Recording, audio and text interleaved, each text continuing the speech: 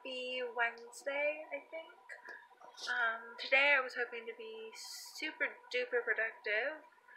Um, unfortunately, I tried to do my video earlier for today, um, and I'm just really, really dizzy.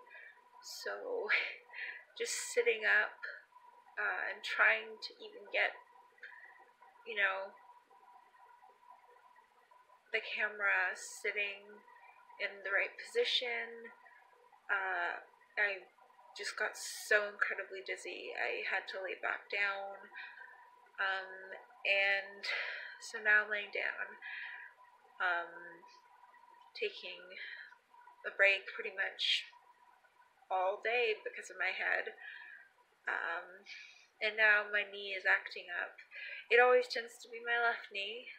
Um, if I twist it in a little bit of the wrong way, um, or take a step in a little bit of the wrong way, or if I don't have something underneath it.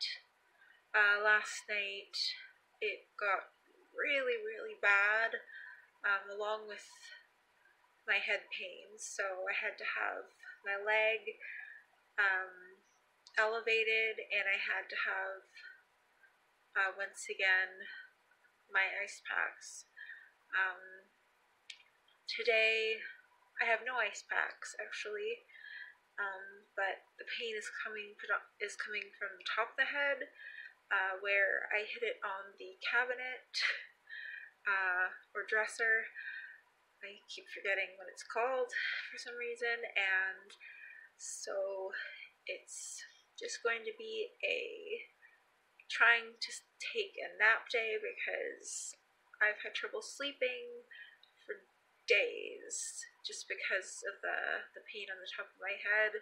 And whenever I wake up, which I'm only sleeping like two hour chunks right now, sometimes less, uh, it, I'm always being woken up by the pain on the top of my head from that one spot. And from, or from a really bad headache caused by it. So that's pretty much it. That is my Wednesday. And I will check in later or tomorrow. Bye.